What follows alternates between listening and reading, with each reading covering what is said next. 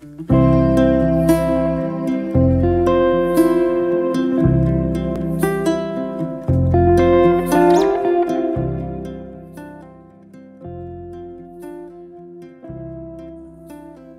blessed Lord, you ministered to all who came to you.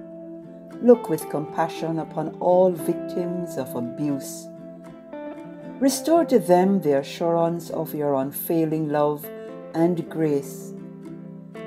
Remove from them the terror that besets them or that they may still be facing. Strengthen them so as to take the necessary actions for justice and show us how we can help and support them.